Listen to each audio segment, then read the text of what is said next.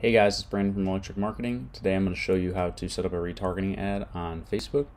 And what we're going to be doing is a carousel ad that just offers a discount code um, to head back to the website and purchase. Now, if you don't have your Facebook pixel set up yet, I'm going to put a link in the video that will show you how you can do that separately. Um, but this is assuming that you already have that set up. So first, you're going to go to your Ads Manager account, and you're going to want to click here and scroll down to uh, Audience.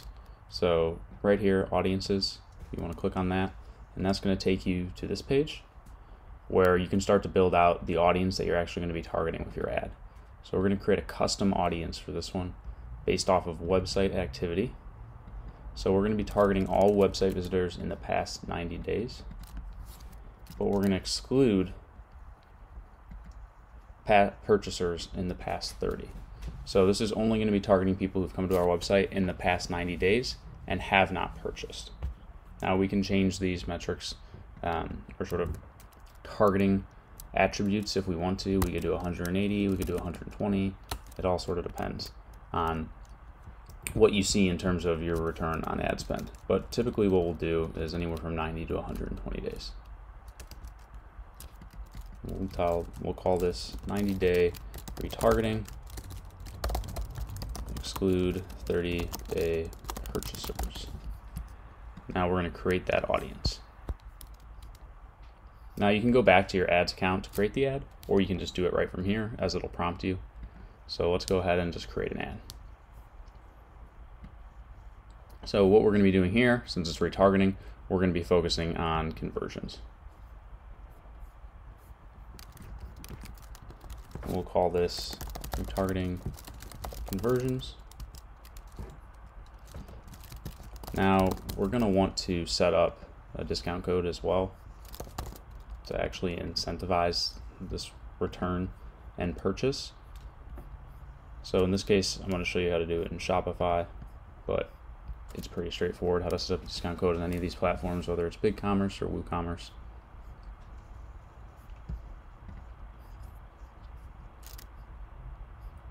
So what we're going to be doing is try DNX.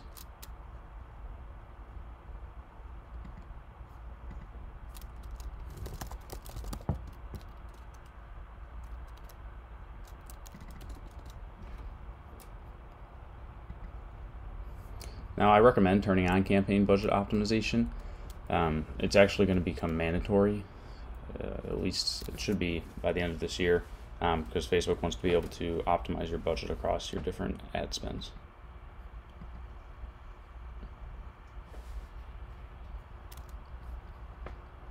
Now we're going to optimize for purchase.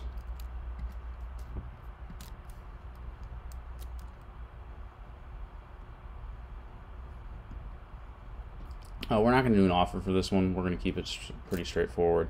You can do an offer. Um, I'm just not a big fan of how it sort of works.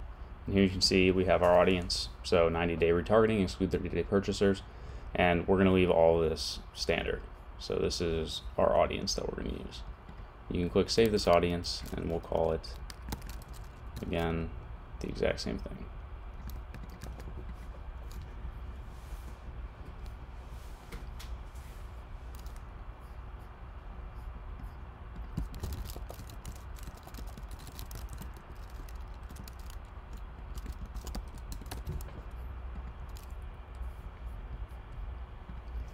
We may test uh, different ad sets, and so I might have a 10% off and a 15% off and see whether or not that really makes a substantial difference. So that's why I called that ad set 10% off. Now what we're going to be doing is a carousel.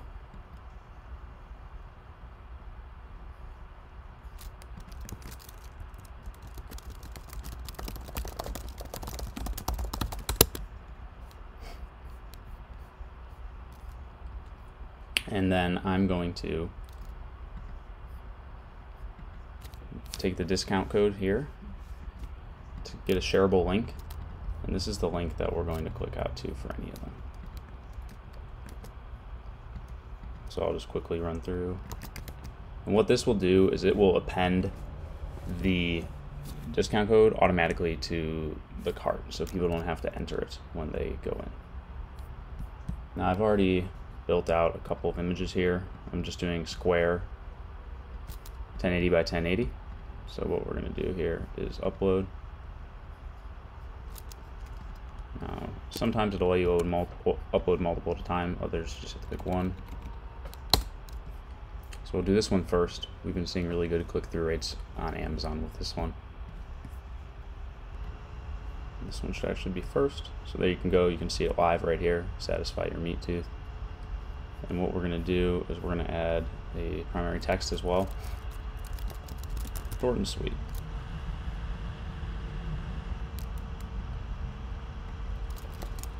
We are gonna try a few different variations.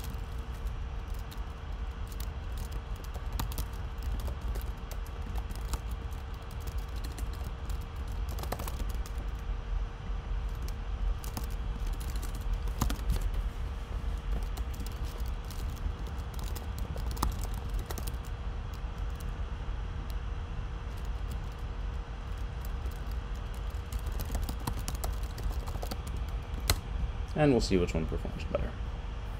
Now we're just going to start to add in the other images. So we'll upload another one here. And for carousel, you're going to want to do the 1080 by 1080. And we're not providing a whole lot of context around the brand here because you've already been to the website at this point. And so what we're really focusing on is just showing high quality visual uh, assets and also enticing with the with the discount code. And this is where we'll add in some different headlines.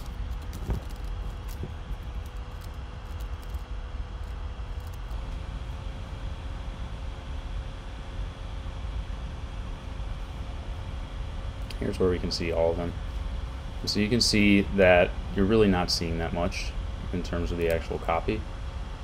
Where you will see more of a description is in Facebook.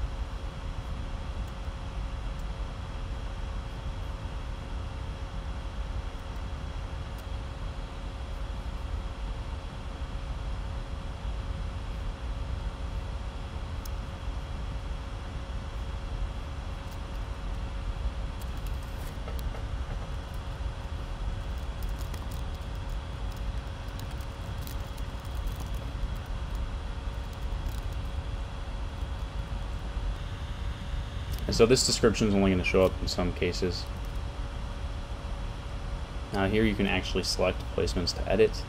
Uh, we're going to leave it as is for now.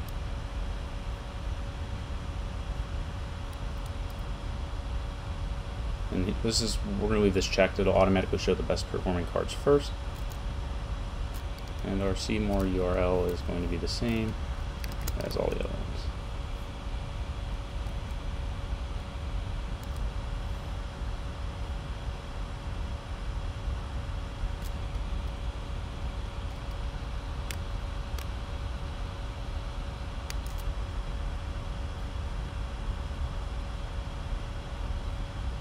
Now I like to view it on desktop newsfeed because this shows everything that will potentially show up.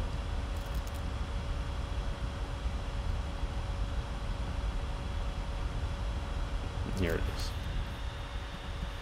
Pretty straightforward. Make sure you keep the conversion tracking on. And then what we're going to do here, you're going to want to make sure that you have U, uh, URL parameters built. So typically these will be done at the account level um, but for the sake of showing you guys I'm going to do it here. So it actually even tells you down here as well. And what we're going to want to do is select dynamic parameters because then it'll pass through if it's going from Facebook or Instagram or wherever it may be. Alright so what I recommend is that you set up your campaign tracking this way. So what this is going to do is dynamically pull in the site source name so Facebook or Instagram this will pull in the actual placement. So it's going to tell you whether it's an Instagram story, if it's an Instagram feed, if it's Facebook feed, and then the campaign name. We're going to pull in the campaign name, but we also want to see the ad set name because we want to be able to break down performance by ad set. And then campaign content, we're just going to do 10 off. And we'll already know it's a retargeting campaign from the campaign name. We'll add carousel as well. Now here we're going to apply.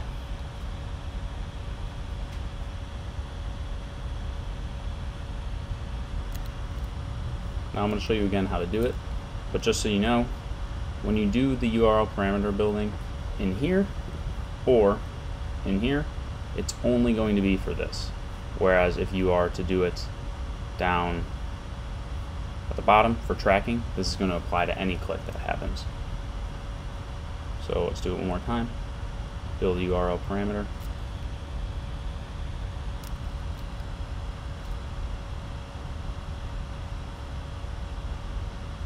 Give site source name, Turn to placement. We're going to do campaign name, and then add, make sure this is the right syntax, ad set dot name.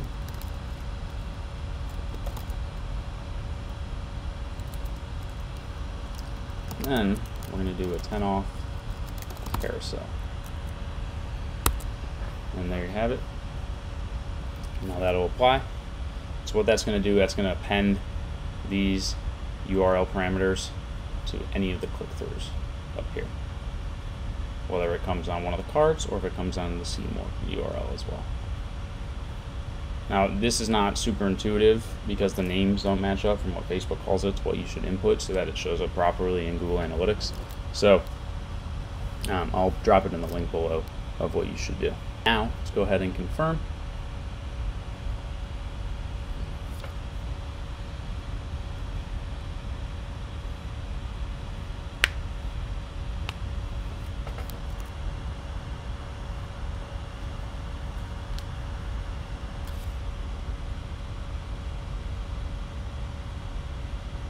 And that's it. Now we have a retargeting conversion ad, uh, carousel. That's going to be targeting 90 day visitors, but no, no one who has purchased within the past 30 days. So now anybody who visits the website within the past 90 days, but who hasn't purchased in the last 30, is going to be shown this ad across Facebook and Instagram as they're browsing the internet. Um, this one's a pretty straightforward example, but this is just a quick and easy way for you to start uh, targeting your traffic that's not converting immediately and we typically see very high return on ad spends here and like a cost per purchase anywhere from 8 to 12 dollars. Um, and it's just pretty simple creative. You get high quality visual visual assets put into a carousel offer some sort of a discount incentive and then you're on your way. And that's about it. Thanks for watching. As always if you have any questions feel free to reach out at any of the links below. Um, and keep staying tuned for more informational videos